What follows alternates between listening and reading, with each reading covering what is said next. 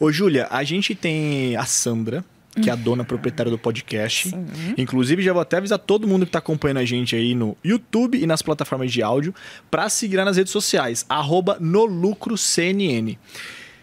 E a Sandra, ela posta conteúdo todos os dias. Legal. E a Sandra, ela tem alguns comentários um pouco ácidos. Tá? Hum. E ela tem o sincerão da Sandra. A Sandra tem uma pergunta para você. Eu sabia. E ela mandou assim: vamos lá, a pergunta da Sandra. Júlia, você participou do programa O Aprendiz e já revelou que se decepcionou. Conta aí na amizade, o reality te fez perder mais do que ganhar dinheiro? Sim, com certeza absoluta. Inclusive, eu não posso falar nomes, né? Não vou falar nomes.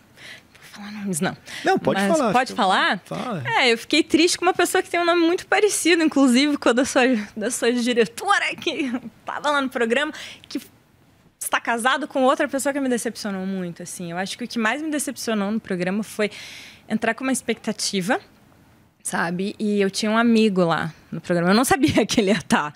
E aí eu cheguei, cara, que bom, assim. E aí eu me decepcionei muito, porque foi a primeira pessoa que é, não foi legal comigo. Não Caramba. foi nada legal. Foi uma pessoa assim que, nossa, já desde a primeira prova me deixou de lado, não me chamava para as coisas, assim.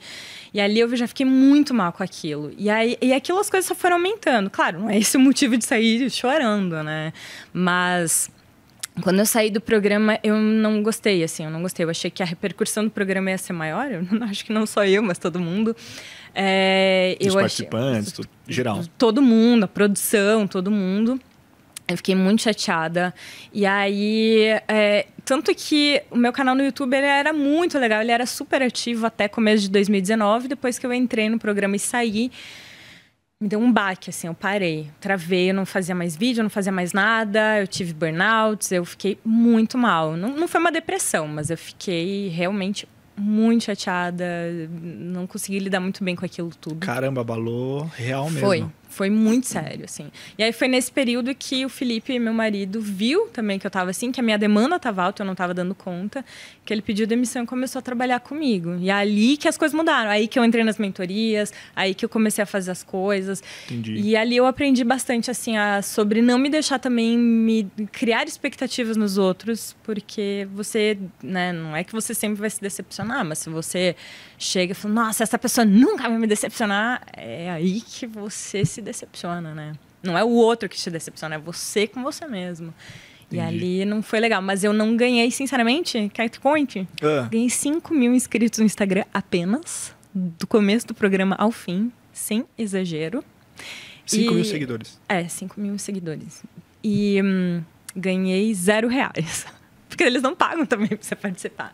Então, não ganhei nada. Não, tipo, ninguém chegou pra mim e falou assim, Júlia, te vi no aprendiz, vamos fechar. Ah, ah. Então, Zero. Zero. E se Então, pudesse voltar no tempo, você faria tudo de novo? Eu ia voltar, mas eu ia voltar com sangue nos olhos. Eu ia falar, você vai pra sala comigo! E você também! Nossa, eu ia voltar nervosa, sério. Porque Brava, mulher. Eu ia, eu, É? ia, eu ia deixar de ser a Júlia boazinha, que acreditava que o mundo é cor-de-rosa. Eu acho que tudo é amadurecimento, né? Mas iria, não aprendi de novo? Com toda a experiência? Ai, é difícil, né? Não sei. Difícil, acho que não. Não. Não foi aprendiz, não. Não sei, não sei nem se para algum outro eu iria, mas é, é muito difícil você participar de um reality. Você não sabe o que vai passar, você não sabe o que, que os outros vão ver. Por mais que tenha pay-per-view, no meu caso não tinha, né? Você não sabe o que, que vão ver, o que, que vão olhar para você e vão. Às vezes você tá aqui de boa assim, sabe? Tipo. Aí pronto, fica 10 takes olhando para você, vendo o copo. Ela é depressiva. Pronto, você é o depressivo, entendeu? Montou, Tipo, montou, é. Tipo, você tá, tipo assim. Pronto, ó lá. É a chorona, E sabe? essas coisas você sentiu que vivia uma coisa e na edição era prejudicada por conta dessas questões, um pouco disso? Como é que era? É, assim, eu não vou dizer que é super prejudicada. Um pouquinho sim. Porque, claro, né? Por que, que vão dar ibope pra você que na edição você já foi demitido? Vão. Né? Não, não vão deixar a pessoa que foi passando mais tempo como a pessoa que é péssima, a pessoa. Não tô nem dizendo isso que aconteceu. Mas, óbvio, tem que mostrar mais qualidade de quem vai ficando pra você ir também se afeiçoando mais, né? Mas é isso, era muita gente. Então, acho que eram 18 participantes. É, as provas tinham três dias de duração, às vezes. A gente começava às sete da manhã até às nove da noite. Então não tinha como mostrar de fato quem você era, sabe? Então, às vezes, você tá aqui contando uma piada super legal, abraçando o pessoal. E aí, na hora de trabalhar, você tá sério você é retratado como uma pessoa séria. E, tipo, eu fui super retratada, assim, como uma pessoa bem. Sabe? Sério? Sim. Porque, meu, a gente, pelo menos eu como telespectador, né, uhum. né? Vou dar a minha opinião de fora, total. Sim. Eu vejo, cara, que as provas parecem muito complexas. Tempos gastos, uhum. né? Bastante tempo dedicado àquilo. Sim. E eu, vamos dizer, a edição, o programa dura um tempo bem curto. Sim.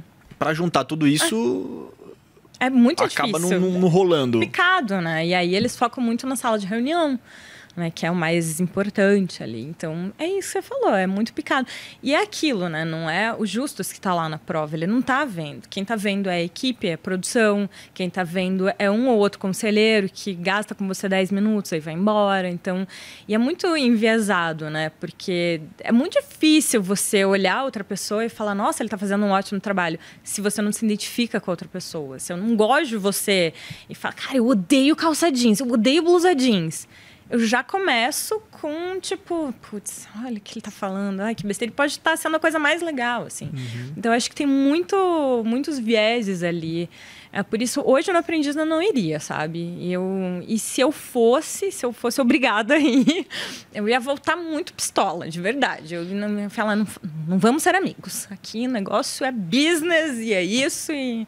E, e é ponto isso. final. Ia é, ser de Eu vi que quem levou longe, quem, quem conseguiu e melhor era quem era mais maduro que eu e conseguiu fazer esse tipo de coisa, conseguiu separar assim as coisas. Entendi. é complexo.